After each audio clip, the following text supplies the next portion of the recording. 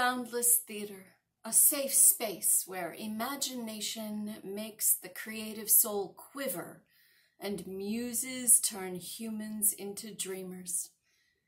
This stage tonight is for us, for all of us who have been locked down for too long in a still life, trembling for motion, for emotion.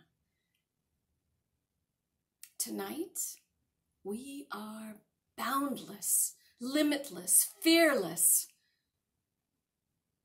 Tonight, let's speak easy. Let's breathe easy. Let's sing easy. Let's dance easy. Let's embrace each other easily. Let's live dreams and let's dream of lives.